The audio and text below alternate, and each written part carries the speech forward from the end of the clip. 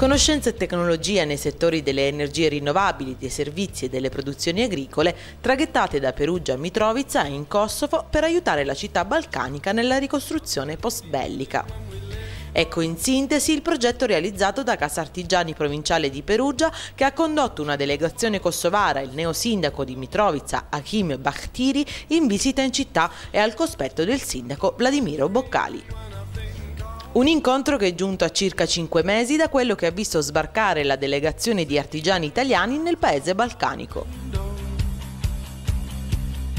Abbiamo visto che eh, queste possibilità, ci sono ampie possibilità di, di, di, di manovra eh, delle nostre aziende quindi eh, abbiamo eh, iniziato un percorso di, di, quelle che saranno le attività che potrebbero essere svolte nel paese di Mitrovica.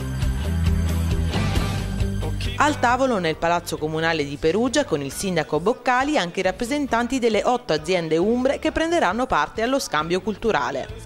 Archiplan Progetti, Tetra Engineering, Newfont, IME Impianti Elettrici, HGV, Falp Electric, Green Service, Paolo Raspa, Studio di Architettura.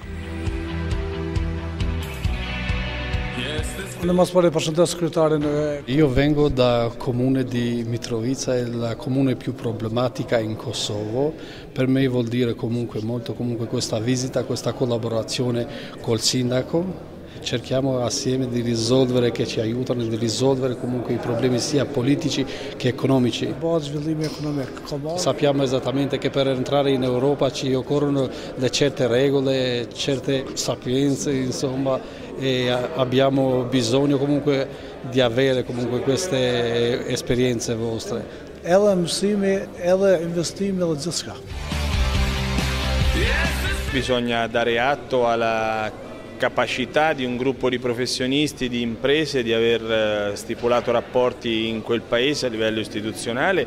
Io penso che dai livelli locali, dal sistema dell'autonomia locale possa partire un sistema di relazioni internazionali che ci aiuta.